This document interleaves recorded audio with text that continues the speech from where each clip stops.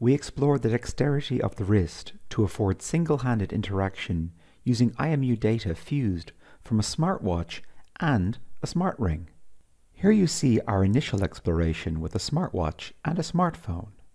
By pretending this is a ring, you can see in real time the primitive hand model consisting of cubes, displayed on the right, the smartwatch movements in the center, and the phone movements on the left. Next you can see our final prototype with an independent smart ring we developed. Now, on the right you can see a higher resolution wrist model, along with the watch and ring representations to the left. Finally, to demonstrate real-world applicability, here is our system operating on a commodity smart ring and smartwatch.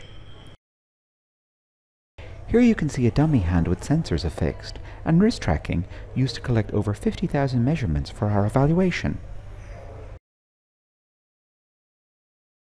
Here you can see wrist in comparison to three other pointing techniques, including ray casting, relative pointing and clutching, and a dual precision technique, laser and gyro. Relative and dual precision employ a long click for mode switching, while employing a short click for selection.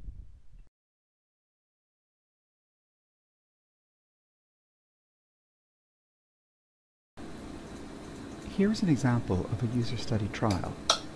The user is asked to raise their hand and then move towards the target. Subsequent targets are highlighted with circles.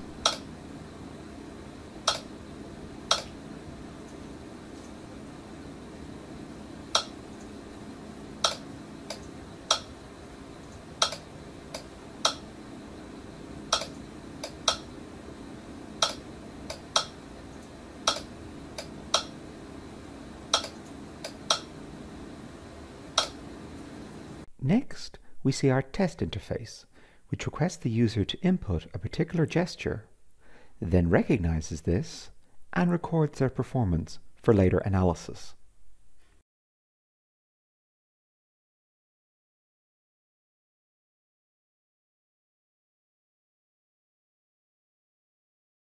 also affords a range of position-aware sensing, which can be leveraged to offer context-aware interactions.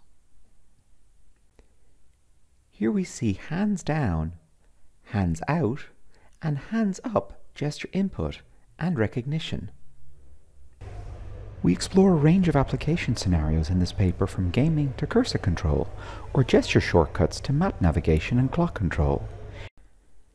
Next we can see continuous gesture detection of the wrist, circle, triangle, counterclockwise rectangle, left bracket, right bracket, check, pigtail, and finally a star.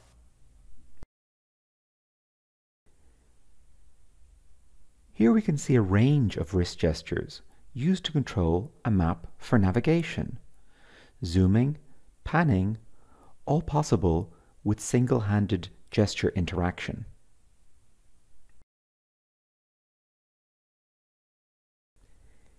Here, simple flexion and extension shows the ability to rate control input to a watch face. Small movements or larger movements change the speed with which the face updates. We can combine pointing together with gestures.